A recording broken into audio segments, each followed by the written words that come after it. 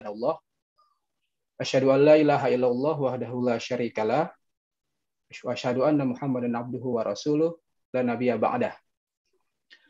Selamat datang uh, para hadirin di pengajian Ramadan 1443 Hijriah yang diprakarsai oleh pimpinan cabang istimewa Muhammadiyah Jepang atau PCIM Jepang yang diselenggarakan selama bulan Ramadan dari hari Senin sampai Jumat, tepatnya dari tanggal 4 sampai 29 April pukul 15.30 sampai 16.15 waktu Indonesia Barat kalau yang di Indonesia. Kalau yang ada di Jepang itu pukul 17.30 sampai pukul 18.15 waktu setempat. Perkenalkan, saya Asep Wijaya dari PCIM Muhammadiyah Jepang akan menjadi moderator pada kajian sore hari ini. Nah, di tengah-tengah kita sudah ada uh, Ustadz Budi Setiawan yang akan menyampaikan topik mengenai sejarah dakwah Muhammadiyah. Namun sebelum saya mempersilahkan uh, Pak Budi atau Ustadz Budi untuk menyampaikan uh, kajian, saya ingin menyampaikan beberapa hal berkaitan dengan kegiatan kajian pada sore hari ini. Kegiatan kajian menjelang berbuka puasa ini diprakarsai oleh pimpinan cabang istimewa Muhammadiyah Jepang atau PCIM Jepang yang menggandeng PCIM se-Asia Timur, yaitu PCIM Korea Selatan, Tiongkok, dan Taiwan, dan juga didukung oleh organisasi Muslim yang ada di Jepang, yaitu Chiba Islamic Cultural Center, Mihara Mosque Japan, Ikatan Perawat Muslim Indonesia, Kalam Momiji, Muslim Osaka, Muslim Indonesia Fukuoka, Muslim Indonesia Tokushima, Keluarga Muslim Indonesia Yamaguchi, Keluarga Muslim Indonesia Okayama, Keluarga Muslim Indonesia Hiroshima, dan Keluarga Masyarakat Islam Indonesia. Jadi kegiatan ini uh, didukung oleh organisasi Muslim yang ada di Jepang, juga PCIM yang ada di Asia Timur. Dan pemateri kita atau uh, penyampai kajian kita pada sore hari ini adalah Ustaz Budi Setiawan. Bagi uh, hadirin yang memang sudah akrab dengan organisasi Muhammadiyah, tentu sudah tidak asing lagi dengan Pak Budi Setiawan. Beliau uh, mengenyam pendidikan di Sekolah Muhammadiyah sejak sekolah dasar dan juga aktif di organisasi Muhammadiyah, mulai dari organisasi kepemudaan hingga di pengurus pusat Kini beliau menjadi Ketua Muhammadiyah Disaster Management Center atau Lembaga Penanggulangan Bencana. Nah, sebelum uh, kita sama-sama uh, menyimak penyampaian kajian dari Ustadz Budi Setiawan, mari kita sama-sama membaca basmalah Bismillahirrahmanirrahim untuk memulai kegiatan uh, pengajian kita pada sore hari ini. Saya kira hadirin sudah tidak sabar lagi untuk mendengar kajian atau pemaparan dari Pak Budi Setiawan. Saya persilakan Pak Budi untuk menyampaikan paparan. Silakan Pak. Uh, terima kasih. Assalamualaikum warahmatullahi wabarakatuh. Alhamdulillahirrahmanirrahim Wassalatu wassalamu ala nabiyina Muhammad wa ala alihi wa sahbihi. Ibu bapak dan saudara sekalian, sore ini saya diajak bintang-bintang tentang sejarah dakwah Muhammadiyah. Maka saya juga cuma mau dongeng gitu. Karena dengan dongengan jalan cerita, insya Allah akan ada beberapa hal yang bisa kita petik dari perjalanan dakwah secara Muhammadiyah. Terima kasih teman-teman PCIM di Jepang ya. Tahun berapa ya? 2014 saya ke PCIM Jepang. Waktu itu saya ngobrol di street ya setelah apa di Tokyo ya, waktu itu ya. Ramadan juga sekian tahun yang lampau. Uh, saya share screen.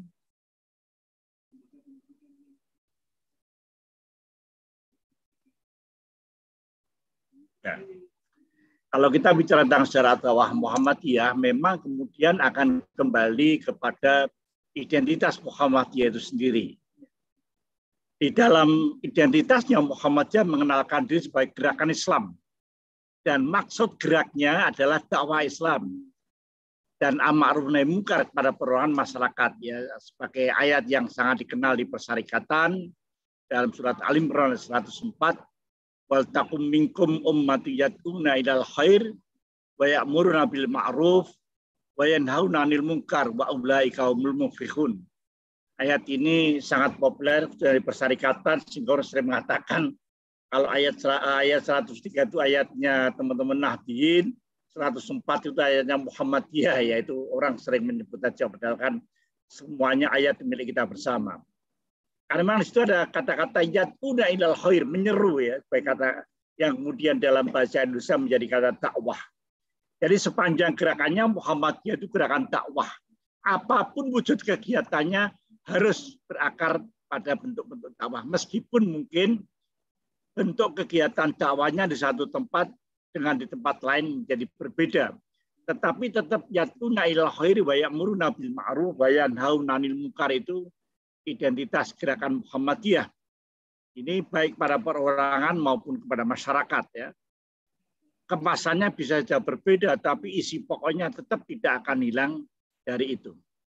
Secara sekalian, kenapa itu muncul? Kalau kita lihat konstruksi masyarakat Indonesia di akhir abad 19 yang kemudian membuat Kiai Dahlan agak tercengang ketika dia mencoba membandingkan. Salah satunya orang mengatakan sinkretisme ya, tercampurnya Islam dengan budaya lokal.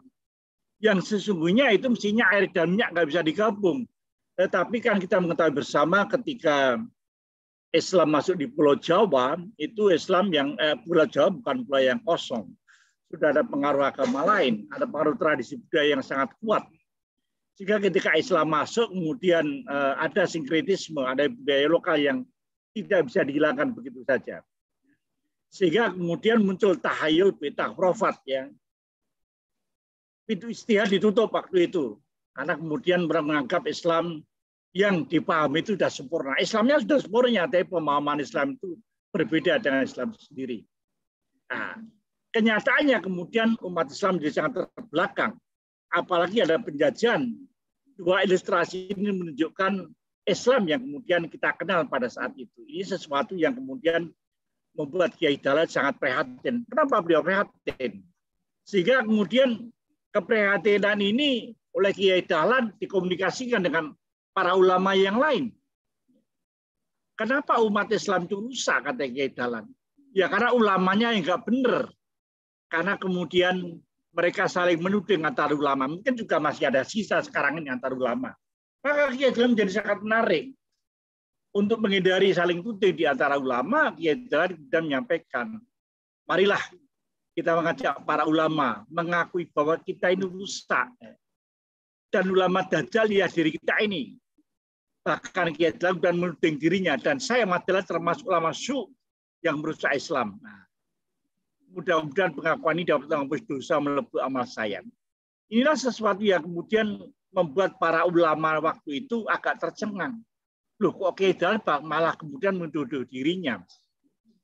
Inilah nampaknya yang kemudian membuat ulama-ulama lain setidaknya menjadi diam, tidak lagi saling menuding. Karena kebiasaan di antara kita umat Islam saling menuding itu nampaknya sejak Yaman Eh, pasca atau mungkin akhir periode Khalifah Khalifah Rashidin itu kemudian sudah saling sangat muncul ya sampai sekarang ini. Saudara sekalian, kenapa kemudian pengalaman dakwah Kiai Dahlan? Pengalaman dakwah Kiai Dahlan ini dimulai sejak eh, beliau mengajar Islam di masyarakat setelah pulang dari haji pertama. Karena Kiai Dahlan itu membantu ayahnya meskipun kemudian dia mengajar pada anak-anak dan remaja, dia mengajar siang hari sudah duhur, bagian dari dawahnya, dan maghrib sampai isya. Nah, sementara sudah asar Ahmad Dalan mengajar kepada para orang-orang tua. Di sinilah mulai semangat mengajar Kiai Dalan muncul. Kalau ayahnya berhalangan, Kiai Dalan yang memberikan pelajaran. Sehingga mulailah dia dikenal sebagai seorang kiai sebagai pengakuan terhadap kemampuannya dan pengalamannya yang luas dalam mengajarkan pelajaran agama Islam. Keterlibatan Kiai Dalan ini oleh masyarakat semakin besar sejak ayahnya yang menjadi Ketep Amil meninggal di tahun 1896. Sesuai kebiasaan di berlaku di Keraton Jakarta, anak laki-laki sulung ya menggantikan sebagai Ketep Amin menggantikan ayahnya. Bah Ketep Amin orang menyebutnya bertugas memberikan khutbah secara perhatian dengan delapan khatib yang lain piket di serambi masjid, tetapi beliau menjadi berbeda. Ketika beliau kemudian piket di masjid gede di Serambi di Mahkamah Al Kubro, beliau kemudian memberikan pelajaran agama Islam kepada orang yang datang di masjid ketika saat piket. Inilah yang kemudian memunculkan semangat dakwah yang yang luar biasa. Karena waktu itu kalau yang dulu memang eh, tidak banyak orang yang seperti itu. Nah, memang kemudian sebagai anggota pengulu dia mendapatkan sawah pelungguh gitu ya dari dari keraton. Ini yang memang membuat para ulama dulu itu secara ekonomi mapan ya. Karena mendapat sawah pelungguh yang lumayanlah buat diri dan keluarganya. Tetapi pada diri Kiai Dahlan muncul ide-ide pembaruan ini yang menjadi berbeda ya diceritakan pada tahun 1898 Ahmad Dahlan mengundang 17 ulama untuk musyawarah tentang arah kiblat disuruh ambil keluarganya di Kauman. Diskusi itu kemudian setelah dipersiap oleh Kiai Dalan dengan berbagai kitab yang menjadi rujukan. Dan ternyata kemudian setelah dikenalkan arah kiblat dan sebagainya tetap tidak bisa mengambilkan penghasilan kesepakatan ya Kenapa Kiai kemudian mem, apa, mengawali dengan arah kiblat? Ini adalah sesuatu yang exactly ya. Ada buku-buku ilmu bumi geografi waktu itu meskipun masih sangat awal ya, tapi mengenalkan posisi titik di bumi. Nah, tapi kemudian dengan para ulama dengan dalil-dalil mereka, tapi tetap belum bisa sampai kepada satu kesimpulan. Nah, akhirnya lagi Kiai kemudian merubah suronya pada 1899. Arah kiblat suronya itu dirubah menjadi arah kiblat sesuai dengan ilmu pengetahuan ya kalau dari Jogja sekitar 25 derajat miring ke utara. Nah, ternyata kemudian anak-anak muda yang senang perubahan itu ramai di uh, langgarnya Kiai Dahlan. Nah, inilah yang kemudian langgar Kiai Dalan sempat dirobohkan atas perintahnya Kiai Pengulu waktu itu. Nah, karena Kiai Dalan tidak mau merubah arah kiblatnya. Inilah ada konflik yang menarik dalam dakwah pembaruan Kiai Dahlan. Eh, tapi kita harus belajar bagaimana Kiai Dahlan menangani konflik ini. Ya. Ini sesuatu yang menjadi pelajaran yang sangat berharga. Nah, kemudian Kiai Dahlan juga Eh, mendirikan sekolah. Mengikuti karena waktu itu Kiai Islam dapat kesempatan mengajar di Quick School ya. Sekolah guru yang memberi pelajaran agama Islam sekolah guru. Yang dilakukan Sabtu sore, mengajarkan pengetahuan Islam secara umum dan membaca Quran.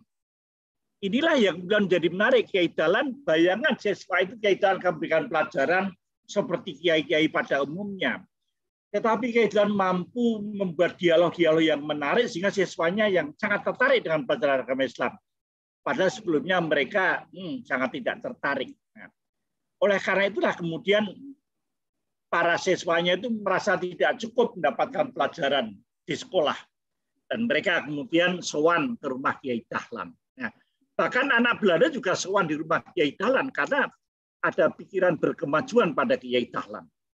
Inilah yang kemudian uh, Kiai Dalan mengembangkan pendidikannya. Selain itu, ketika Dalan mendapatkan kesempatan di Budi Utomo, ya, itu Kiai Dalan kemudian sangat tertarik kegiatan organisasi.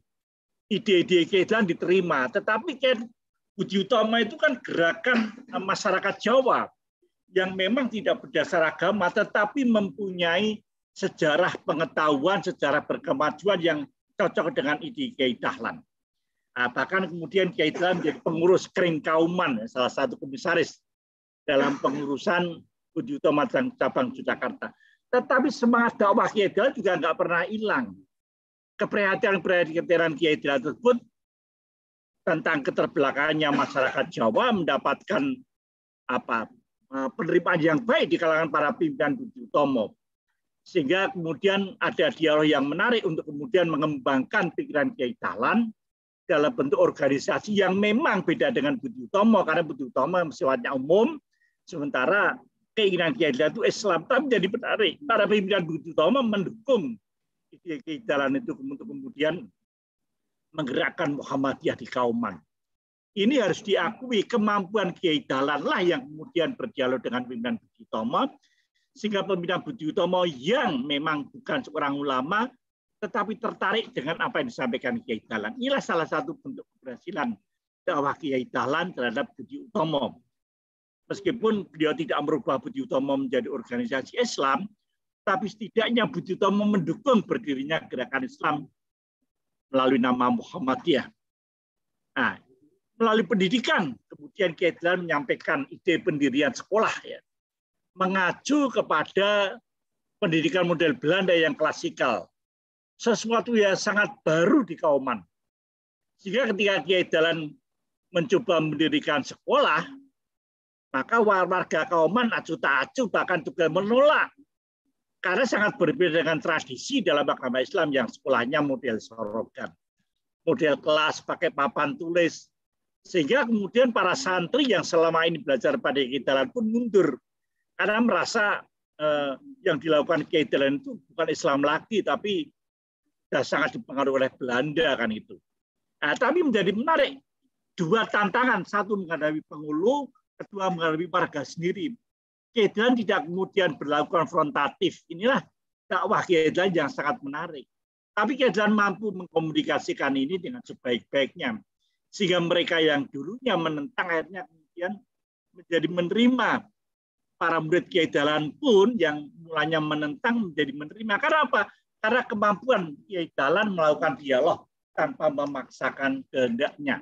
Nah ini sehingga dakwah melalui pendidikan pun berhasil dilakukan oleh Kiai Dahlan.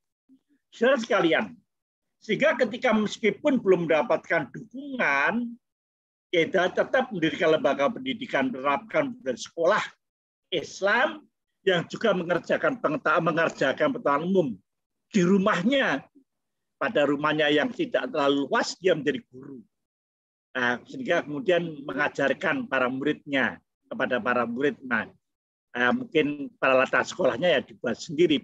Ini awal abad 20 ya jadi satu satu yang sangat luar biasa lebih dari seabad yang lampau jangan kita bayangkan dengan sekarang. Ketekunan Kiai Dalan untuk berdakwah pada bidang-bidang yang kemudian eh, bisa dilakukan itulah menunjukkan semangat dakwah Kiai Dahlan. Ketika kemudian seorang murid quick school datang ke rumah Dahlan pada hari hari liburan, menyarankan agar sekolah tidak hanya diurus oleh Ahmad Dahlan sendiri, melainkan sebuah organisasi yang mengusulkan itu anak anak quick school ketika tanya Kiai Dahlan, Kiai, sekolah ini milik siapa? Ya milik saya. Yang ngajar siapa? Ya saya ketika kemudian anak tahu ditanya, kalau nanti Kiai meninggal siapa yang melanjutkan? Kiai Dilan terdiam, betul juga. Kalau saya meninggal sekolah ini nanti siapa melanjutkan? Dari situlah Kiai Dilan kemudian mulai berpikir untuk kemudian mendirikan organisasi. Dengan dukungan teman-teman di Utomo, sehingga kemudian terbentuklah Muhammadiyah. Ya. Sehingga pada rapat di pendopo tablek, ya, kaum mantuk kemudian dalam menyatakan yuk kita dirikan Muhammadiyah sebagai organisasi yang melanjutkan dakwah sehingga akan tertata lebih baik. Inilah menjadi sangat menarik ide dari seorang siswa quick school yang datang ternyata kemudian bermanfaat. Artinya apa? Dalam dakwah itu dalam sangat terbuka sekali melakukan dialog bahkan dengan orang yang kemudian tidak mengenal Islam tapi men, apa mensepakati tentang pendidikan. Oleh Kiai dan di di apa dirubah menjadi organisasi Islam. Dia dakwahnya melalui organisasi. Nah, ketika organisasi Muhammadiyah dengan jumlah ulama dai yang sangat terbatas, ini sesuatu terobosan yang luar biasa. Muhammadiyah memberi kal para dai dengan buku tuntunan. Karena dengan buku tuntunan dia akan bisa ke mana pun. Muhammadiyah melalui para pimpinannya membuat buku lembaganya dengan bagian taman pustaka. Ada buku yang cukup banyak waktu itu. di awal abad 20 menerbitkan buku sehingga di Kauman waktu itu ada beberapa book handle pengusaha buku. Ini salah satu buku pustaka ihsan karangan eh, Ki Bagus Yadi Kusumo. Ada Piulang Islam, ada Samudra Al-Fatihah karangan murid-murid Kiai Dahlan. Karena memang Kiai Dahlan itu tidak membuat buku, tapi murid-muridnya itulah yang sudah produktif menerbitkan buku. Untuk apa? Menyampaikan dakwah ini kepada masyarakat. Semangat balihu ani walau ayah itu meresap di kalangan semua muridnya. Ini sesuatu yang yang luar biasa karena kemudian eh, menjadikan penyebaran agama Islam menjadi lebih cepat. Nah, kemudian dakwah melalui amal nyata dan merata. Orang mengatakan sekarang dakwah dapat dakwahnya tidak hanya bilisan tapi dengan perbuatan itu sudah dilakukan kiai karena menyadari untuk menarik minat masyarakat, maka perlu ada kelompok-kelompok pengajian agar apa? Pelajarannya bisa meningkat sistem kelas meskipun dalam kelompok pengajian. Dan yang kedua kegiatan santunan fakir miskin dan yatim. Dan yang ketiga cirinya kiai dakwahnya mengembirakan. Inilah yang kemudian sangat menarik. Ada kelompok pengajar remaja putih Sopo Tresno, ada pengajian putra Fat Astrom Bamif Ta'usyadah, ada toharatul kulub, ya, hati yang bersih, tawanal biri wa takwa, ada kelompok hayatul kulub, ya, di suratan bahkan ada muslimin, ada kelompok sumarah Allah. Ini menarik karena sumarah itu identik sekali dengan pelajaran apa ajaran kejawen, tapi dan melalui Islam menjadi sumarah Allah, pasrah pada Allah. Ada kelompok budaya Islam, ini kan semuanya sekitar kauman. Tapi mulailah dengan kelompok-kelompok ini. Jadi Kiai tidak hanya menunggu murid datang, tapi Kiai kemudian menyebarkan ajaran ajaran ajaran Islam ini di banyak tempat ya. Ada kelompok wanita mulyo, ada kelompok-kelompok ini. Saudara sekalian, sehingga kemudian menyentuh dakwah perempuan yang pada waktu itu perempuan begitu usia mulai balik langsung masuk di pinggir, tetapi Kiai menyadari mengirimkan tiga muridnya perempuan kepada sekolah Belanda. Luar biasa keberaniannya ini. Sehingga kemudian mulai ada peran kaum perempuan yang semula hanya dipingit, bahkan kemudian pada tahun 14 tadi remaja putri Sopo Tresno. Memang kegiatannya masih terpisah dengan yang pria, jika Kiai dan mendirikan musola Aisyah agar perempuan-perempuan tidak canggung untuk kemudian berkumpul dengan perempuan lainnya dalam belajar itu sendiri. Inilah satu bentuk Kiai Dalan melakukan terobosan-terobosan yang dibutuhkan dalam dakwah.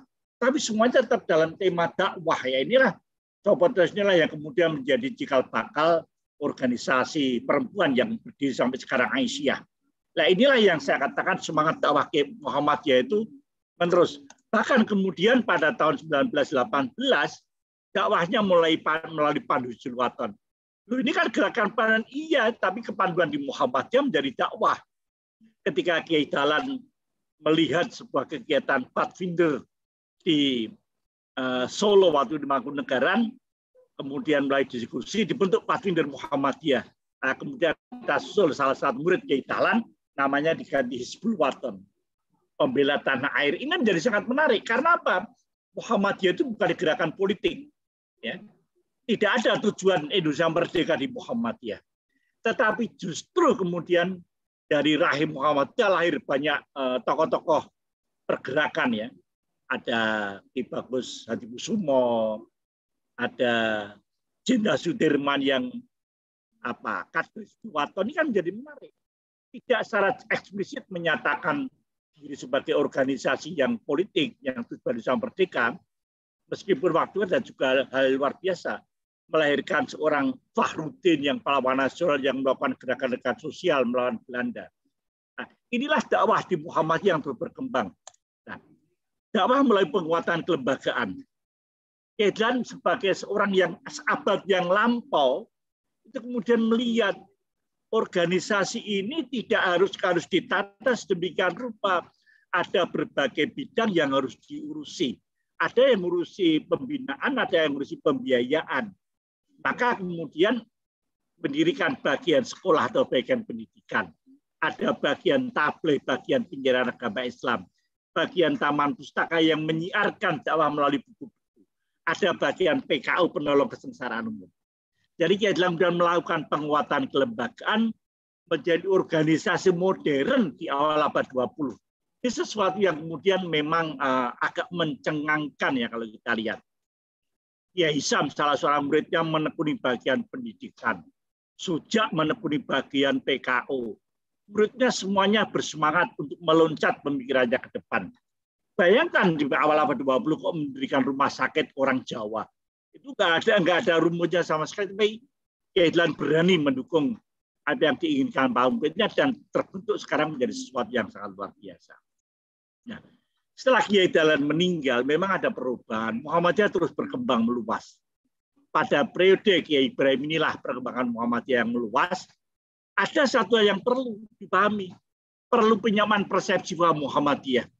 Karena Muhammadiyah bergerak di berbagai masyarakat Islam yang sudah punya paham.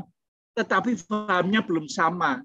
Maka kemudianlah sejarah Muhammadiyah pada periode Ibrahim ini ada istilah saya kristalisasi ya nilai dasar Muhammadiyah ada kristalisasi ideologi sehingga Muhammadiyah yang dulunya cair menjadi menggumpal dalam artian positif meskipun kemudian ada gerak organisasi yang semakin besar dan menjadi agak lamban harus diakui tetapi itu sesuatu yang keniscayaan karena menghadapi berbagai aliran pemikiran tapi tetap semangatnya dakwah. Sehingga pada periode Kiai Ibrahim inilah berdiri Majelis Tarjih sebagai dapurnya para ulama yang mengkristalisasi pemikiran-pemikiran Islam.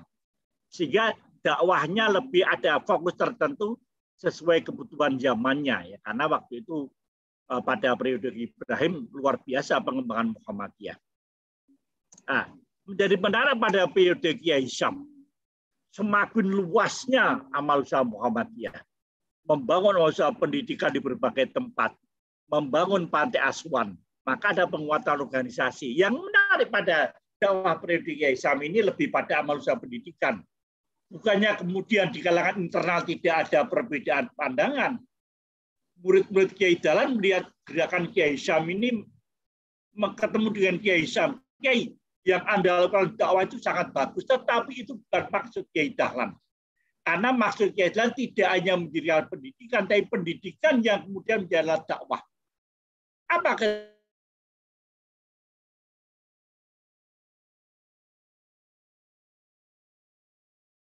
ini menjadi menarik. Sudah ada mulai apa perbedaan pemandangan di dalam internal persyarikatan Muhammadiyah. Tetapi kemudian pada setelah Kiai Syam tidak terpilih, para murid Kiai yang sudah disaling tuding, siapa yang akan memilih menjadi pimpinan? Sehingga diimport Kiai Mas Mansur dari Surabaya pada tahun 36. Inilah menjadi hal yang menarik. Apa yang dilakukan Kiai Jalan Kiai Mas Mansur pada dakwah ini? Penguatan nilai dasar Muhammadiyah. Karena apa? Muhammadiyah sudah semakin besar, kalau tidak ada penguatan nilainya, maka buatnya jadi organisasi, tapi bukan organisasi dakwah lagi. Kiai melalui Kiai Mamasur ini dirumuskan langkah 12, langkah strategis bagaimana mengembangkan dakwah. Dan menyusun kitab masalah lima, Al-Mas'ilul Khomsa. Ini nilai dasar dulu yang luar biasa. Kenapa pertama Kiai Mas Mansur menanyakan Muhammadiyah organisasi Islam? Maka Kiai Mansur bertanya, mahwadin, apa sih itu agama? Orang yang sudah puluhan tahun menjalankan Islam masih ditanya apa itu agama. Agar supaya pemahamannya terhadap agama nggak hilang. Nah, masalah lima itu ada mau apa eh, mahwadin, kemudian mau ibadah, ibadah itu apa? Dipertanyakan. Kemudian sampai terakhirnya mahwasabilullah. Bagaimana melakukan istihad terhadap persoalan-persoalan yang dulunya bukan persoalan agama tapi bukan persoalan dunia menjadi bagian dakwah inilah Mas Mansur yang out of the box melakukan banyak hal untuk um, mengembangkan Muhammadiyah. Tapi tahun 42 ketika Jepang masuk, ya Mas Mansur ini dan dipanggil ke Jakarta untuk bersama dengan Bung Karno apa empat serangkai ya itu eh, sejarah yang tidak bisa kita pungkiri. Tapi dakwah tetap nggak, ber, pernah berhenti. Saudara sekalian, pada periode Ki Bagus Hadi Kusumo, setelah tahun 42 menghadapi Jepang, kemudian bagaimana Ki Bagus Hadi Kusumo ini yang berani menghadap Kaisar Tenohaika, Kaisar Jepang dengan tetap mengangkat muka, sehingga kemudian justru Tenohaika sangat hormat kepada Ki Bagus ini ini kalau orang nggak jiwa tauhidnya kuat nggak mungkin ya. Ketika dia kemudian berdakwah ke Jepang dia menunjukkan dirinya. Karena menjadi menarik pada tahun 42 ada tim uh, apa para ulama dari Indonesia berangkat ke Jepang mengikuti Islam Expo. Tahun 42 Muhammadiyah mengikuti Islam Expo di Jepang itu kan luar biasa. Yang dikirim di Indonesia antara lain Profesor Kiai Farid Ma'ruf melakukan sekian banyak kegiatan konferensi Islam di Jepang sehingga kemudian beliau mengerti betul. Nah, ternyata meskipun ketika pulang dari Jepang, Farid Ma'ruf ditahan oleh Belanda karena dianggap mata-mata Jepang itu kan sudah jelang Perang Dunia Kedua. Ki Bagus bahkan ketemu Kaisar Tenoharika nah, pada kemerdekaan, perang kemerdekaan inilah kemudian Kiai Ki Bagus ini merumuskan Mukaddimah Karya Muhammadiyah sebagai salah satu metode dakwah mengenalkan di mukadimah itu apa itu artinya agama apa itu kehidupan apa kehidupan beragama itu adalah keniscayaan masyarakat kehidupan bermasyarakat keniscayaan organisasi adalah sebuah keharusan itu dikenakan dalam mukadimah dasar Muhammadiyah. Jadi dakwahnya lebih apa tersistem gitu pada mulai periode Ki Bagus Kusumo.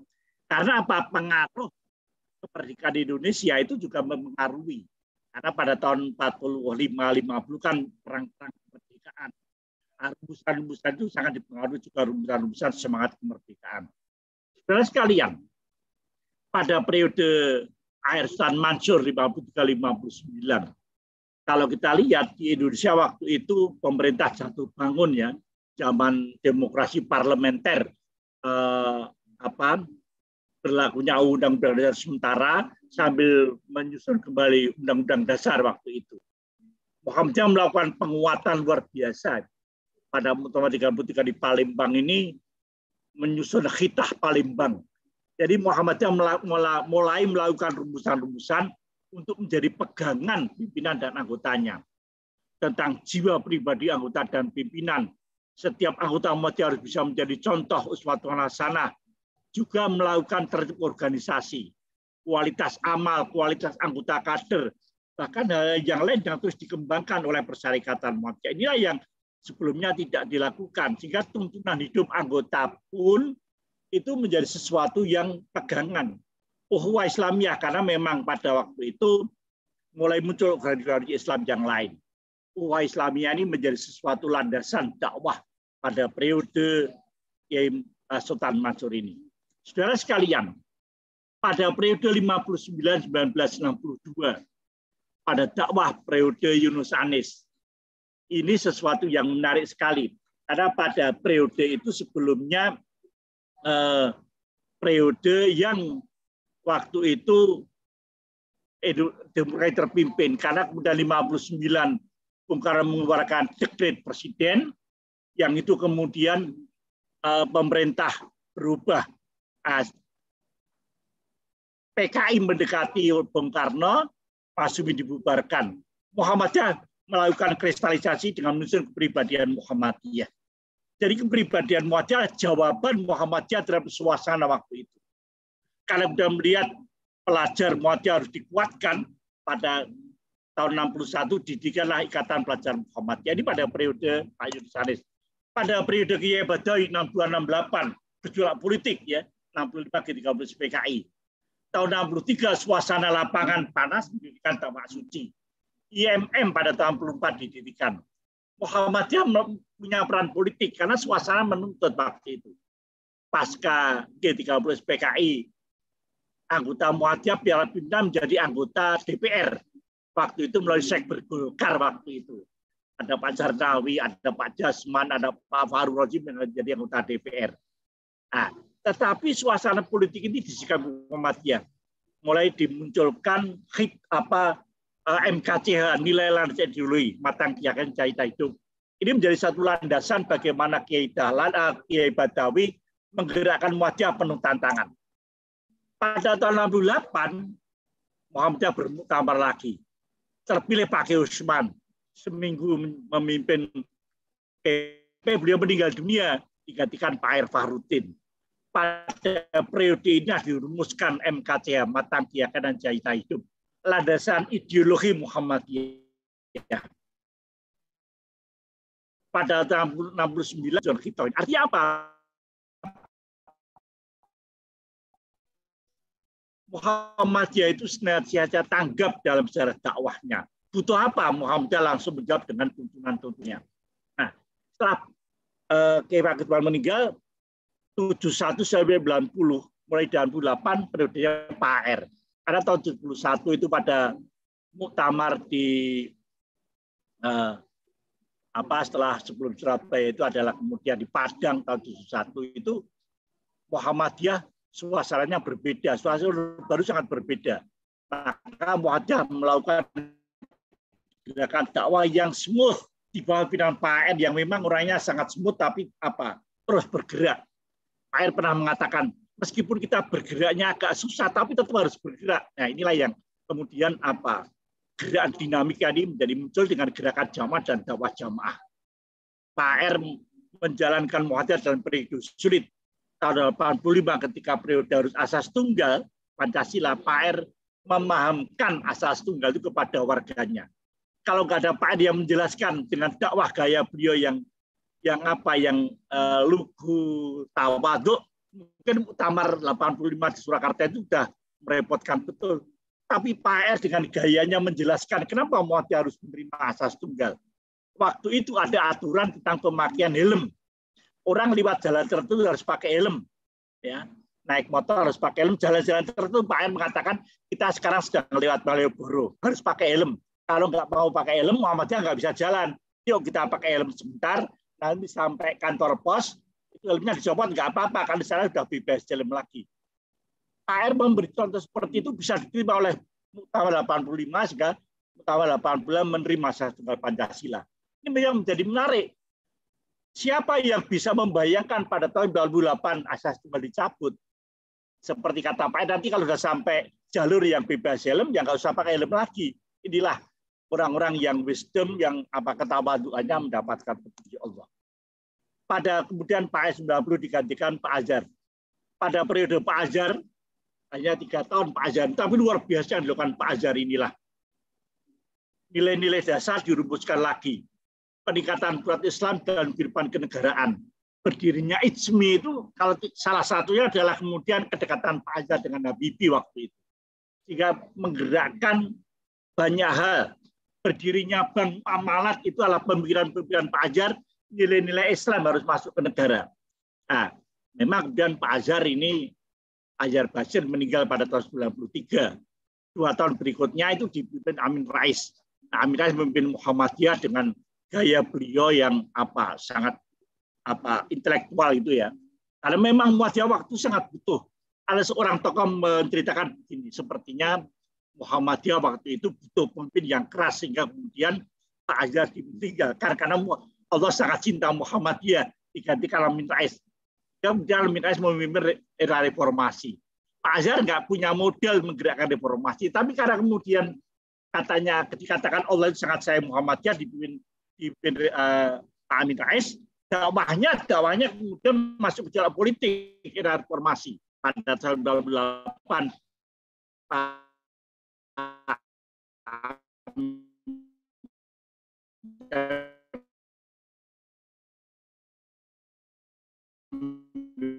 Reformasi eh, pada periode Sawi Ma'arif ini hal-hal yang menarik. Peningkatan peran kebangsaan muncul. Muncul satu apa rumusan Muhammadiyah Pedoman Islami. Ada perubahan UUD. Buya Sawi Ma'arif pada Mutawan 2000 mengenalkan dakwah kultural. Ketika melihat suasana kehidupan bangsa Indonesia yang sangat dekat dengan budaya, maka dakwah kultural harus masuk. Ini satu ide yang memang meskipun belum tuntas, tapi menjadi menarik. Dakwah Muhammadiyah itu dakwah yang dibutuhkan. Nah, pada periode Pak Din Samsudin, 2005-2015 ini ada pencerahan peradaban, ya, ada pra internasional, tapi tetap ada pendidikan ideologi dan Pak Din Samsin orang sangat lincah lintas budaya dan agama karena beliau kemudian memimpin delegasi-delegasi keagamaan di tingkat internasional. Beliau memimpin pada sampai 2015. Jadi saya mencoba fokus Din Samsin sebagai ketua Muhammadiyah, bukan Din Samsin kegiatan sekarang. Tapi ketika di Muhammadiyah, beliau tetap menggerakkan Muhammadiyah sebagai gerakan dakwah meskipun bentuk dakwahnya berbeda. Bahkan pada periode terakhir ini ya, pada periode Pak Haidar Nasir, maka Kiai Pak Haidar Nasir dalam dinamika politik yang terus bergerak ini, maka penguatan ideologi tentu harus dilakukan. Program internasionalisasi Muhammadiyah harus dilakukan melalui pendirian berbagai malusia pendidikan di luar negeri. Ketika pandemi COVID, Muhammadiyah tidak diam.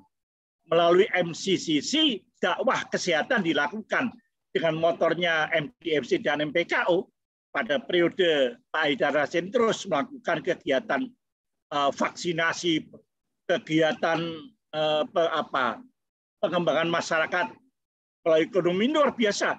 Saya pikir tidak ada organisasi Islam yang seperti Muhammadiyah dalam menghadapi COVID ini. Ratusan ribu orang divaksin oleh kegiatan MPKO melalui apa kegiatan COVID ini. Ribuan uh, kegiatan masyarakat ya, artinya masyarakat mendapat ada gerakan ketapak, gerakan ketahanan pangan karena awal COVID ekonomi sangat berpengaruh. Ada gerakan ubah perubahan sikap masyarakat melalui gerakan pelajar untuk melakukan perubahan sikap dari dulunya nggak pakai masker menjadi pakai masker. Memahami adanya bencana berarti harus dilakukan. Ada gerakan silana ya, satu sistem pengenalan kepada masyarakat tentang masalah COVID ini. Ada berbagai gerakan yang dilakukan Muhammadiyah, bahkan melalui kegiatan uh, dakwah di informasi. Ini Muhammadiyah melakukan, meskipun skopnya skop masih COVID, tetapi masyarakat dikenalkan informasi dan data. Karena ke depan data dan informasi ini menjadi satu handal. Maka Muhammadiyah melakukan dakwah melalui pengenalan penggunaan data informasi dalam dakwah. Demikian pengembangan AUM. Inilah yang perlu saya sampaikan sejarah Muhammad dakwah Muhammadiyah dari periode Kiai Haji Ahmad Dahlan yang masih dalam suasana tertutup sampai periode abad 21 di periodenya Pak Din Samjen dan Pak Haidar Nasir tetap dalam keadaan dakwah meskipun kemasannya berbeda. Itu kira-kira yang bisa saya sampaikan karena waktunya sepertinya sudah melonjak dari yang semestinya. Sementara itu maturun. Assalamualaikum warahmatullahi wabarakatuh. Waalaikumsalam warahmatullahi wabarakatuh. Terima kasih banyak Pak Budi sudah menyampaikan kajian yang komprehensif ya. Tadi betul-betul kita disampaikan sejarah dakwah dari Kiai Haji Ahmad Dahlan sampai periode uh, Pak Haidar Nasir. Jadi memang ternyata meski banyak inovasi dalam dakwah yang disajikan oleh Muhammadiyah, tapi tetap uh, dakwahnya itu tetap berlandaskan pada pengetahuan ya kalau tadi saya tidak salah tangkap. Dan memang di antaranya adalah dakwah yang tidak hanya disampaikan secara uh, lisan atau dengan cara-cara yang konservatif, tetapi juga dakwah-dakwah melalui pendidikan, melalui organisasi, juga melalui amal yang nyata. Nah, saya mengundang uh, hadirin yang ada di ruang virtual Zoom ini untuk uh, menyampaikan pertanyaan. Mungkin ada satu atau dua pertanyaan yang ingin uh, diajukan kepada Pak Budi Setiawan. Silakan bisa menyampaikannya di apa di ruang obrolan ya atau di chat room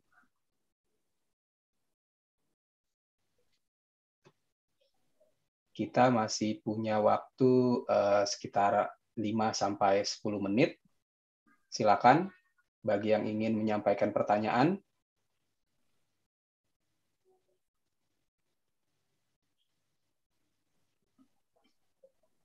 Tidak ada ya sepertinya ya. Pak Budi, saya boleh menyampaikan pertanyaan nggak Pak Budi? Satu. Monggo, monggo, monggo.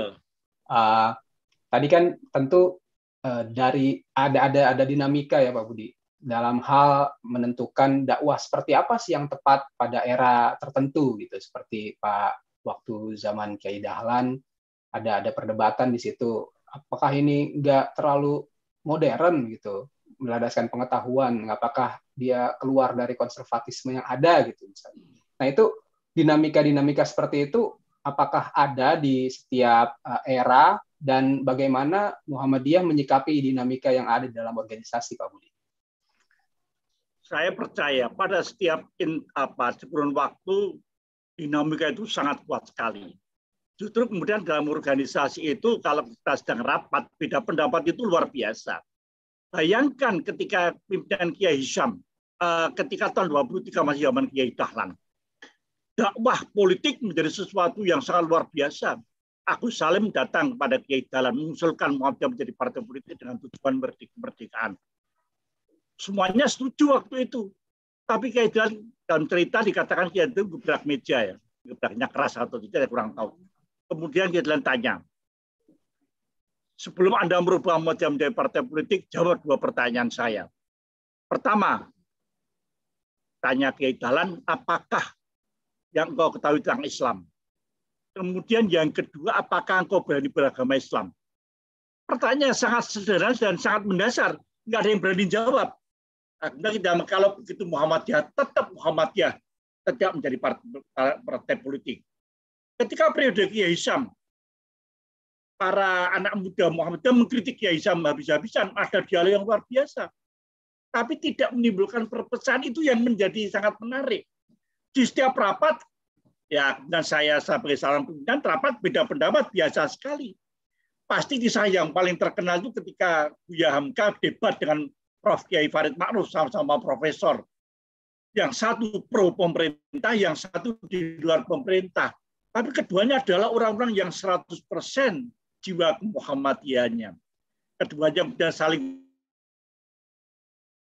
Kenapa dasar tetap yang penting adalah Muhammadiyah bukan pendapat pribadi jika internal persyarikatan sering kali pertentangan pada, cuman kemudian eh, bagaimana keluar menjadi satu warna ini yang kemudian ke depan agar kita mampu mengemas perbedaan pendapat dalam rangka mengemas dakwah karena tujuannya sama dakwah cuman kadang-kadang memang kemudian ada beda pendapat dalam bentuk kemasannya. Sekarang pun di dalam perapat persyarikatan selalu ada perbedaan pendapat apalagi dalam suasana dinamika politik Indonesia akhir-akhir yang agak bagaimana kan itu. Nah, inilah yang kemudian perlulah uh, dalam mengemas itu tetap nilai dakwah harus diunggulkan. Kira-kira itu, Mas. Wah, terima kasih Pak Budi. Alhamdulillah. Semoga apa yang disampaikan Pak Budi tadi bisa menyemangati kita semua untuk bisa kembali menyegarkan pemahaman kita tentang dakwah Muhammadiyah, juga bisa terus berupaya untuk menerapkan nilai-nilai yang ada dalam organisasi Muhammadiyah. Sebelum saya menutup kajian pada sore hari ini, saya meminta uh, Pak Budi untuk memimpin doa pada sore hari ini. Silakan Pak Budi. Baiklah saudara-saudara sekalian, di Ramadan jelang buka puasa yang Allah menyampaikan doa orang berpuasa tidak pernah terhijab di hadapan Allah. Bismillahirrahmanirrahim. Alhamdulillahirabbil alamin. Wassalatu wassalamu ala nabiyyina Muhammad wa ala alihi washabihi ajmain. Allahumma gfir lil muslimina wal muslimat wal mu'minina wal mu'minat al ahya'i bin wal amwat innaka sami'un qaribun mujibut da'wat ya qadiyal hajat. Rabbana la tu'akhidna inna sina au ahtana rabbana wala tahmil alaina isran kama hamaltahu alal ladina min qablina. Rabbana wala tuhamilna ma la taqata lana bih. Wa'fu anna waghfir lana warhamna anta maulana. Fansurna 'alal qaumil kafirin Rabbana la tuzigh qulubana ba'da idh hadaitana wa hab lana min ladunka rahmah innaka antal wahhab Rabbana atina min ladunka rahmah wa hayyi lana min amrina rasyada Rabbana atina fid dunya hasanah wa fil akhirati hasanah wa qina adzabannar. Subhana rabbika rabbil izzati amma yasifun wa salamun alal mursalin walhamdulillahi. Matur nuwun amin. Amin amin ya rabbal alamin. Terima kasih banyak Pak Budi atas penyampaian kajiannya dan para hadirin atas kesediaan bergabung di ruang virtual pada sore hari ini. Marilah kita eh, sama-sama menutup kajian pada sore hari ini dengan eh, membaca doa kafaratul majelis. Subhanaka Allahumma wa bihamdika asyhadu an la ilaha illa anta astaghfiruka wa natubu ilaik. Saya selaku moderator mohon maaf bila ada salah kata dan salah laku. Terima kasih banyak. Selamat eh, menunggu berbuka puasa.